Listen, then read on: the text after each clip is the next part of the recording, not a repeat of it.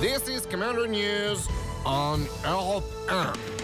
Le Commandeur News, c'est toute l'actualité voie lactéisée. Et d'ailleurs, papa, c'est quoi cette bouteille de lait Par Jérôme Commandeur, tous les matins à 7h25. Bonjour Jérôme. Bonjour à tous. Ce matin, on revient sur l'astéroïde qui a frôlé la Terre dans la journée d'hier. Et pour en savoir plus sur cette affaire, nous accueillons l'une des astrologues les plus célèbres de France, Elisabeth Tessier.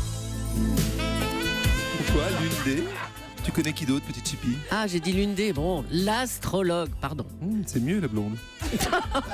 Excusez-moi, hein, je me suis habillé un peu vite. J'ai pas eu le temps de mettre des sous-vêtements. J'ai pas dormi chez moi. D'ailleurs, j'ai passé la nuit avec quelqu'un d'Europe 1. Je ne dis pas qui c'est, mais on a parlé de Federer toute la nuit. C'est très agréable. Ah, d'accord. On a mis 2-7 à 0 à 5h du match. Ça avait plus où étaient les balles. Alors, euh, le passage de cet astéroïde près de la Terre vous a-t-il préoccupé, Elisabeth Oh, il faut arrêter avec cet astéroïde. Il est passé à 1,8 million de kilomètres de la Terre. Alors, avant que ça vous défasse le brushing, il y a de la marge. hein. Le prochain devrait passer dans 2000 ans. On a le temps de se foutre sous la table. quand même.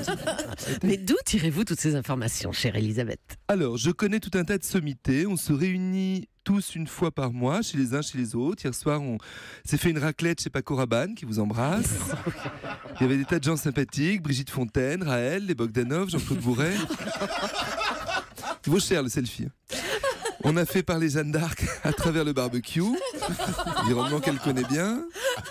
Bob Marley à travers la boîte à épices. Et on a fait chanter la bonne du curé à Jean Jaurès. Ça n'a aucun rapport avec. C'est juste pour le fun. Donc, question astéroïde, aucun souci. Alors, sinon, quelques prédictions comme ça en chiffonnade. Comme le jambon, ça, c'est-. Brigitte Fontaine voit Jacques Cheminade au second tour dimanche. Raël sent une tempête de neige sur Marrakech pour fin juillet. Et Jean-Claude Bourret, il est rentré plus tôt puisqu'il a des extraterrestres en Airbnb sur son clic-clac jusqu'au 22. Putain, Rien fait. Bon alors, puisque vous êtes en studio avec nous, oui. est-ce que vous pouvez donner l'horoscope de, de- de chacun de nous, là, autour de la table? Bien sûr. Alors, je vais démarrer par euh, Yves Tréhard. Alors, Yves, vous êtes Capricorne Non, je suis Gémeaux. Oui, bah c'est pareil, faites pas chier.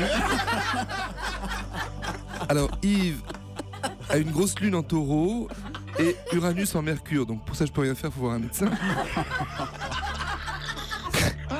Et sinon, là, je vois une facture avec marqué Elisabeth Tessier, 1000 euros plus TVA.